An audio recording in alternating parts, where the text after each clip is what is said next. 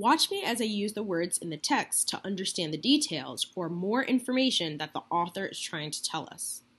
First, I'm going to read lines 1 through 4 so that I can listen to how they sound.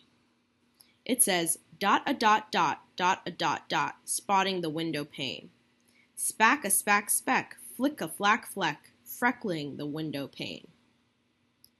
Now that I listen to the words, I need to find the words that repeat or are made up. I see here in the first line, the author repeats the word dot a lot.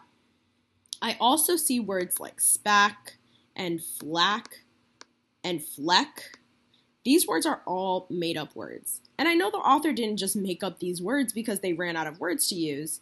They must be trying to tell me something. Now that I found these words that repeat and are made up, I need to think about what it makes me imagine or see. Now, when I hear the words dot, a dot, dot, dot, a dot, dot, that makes me think of a bunch of polka dots. And if it's on my window pane, it must be raining outside because I know when there's dots on my window, it's starting to rain. Then I see words like spack a spack speck, flick a flack fleck. That makes me think that the rain isn't little dots anymore, but they're getting messier and hard to see through.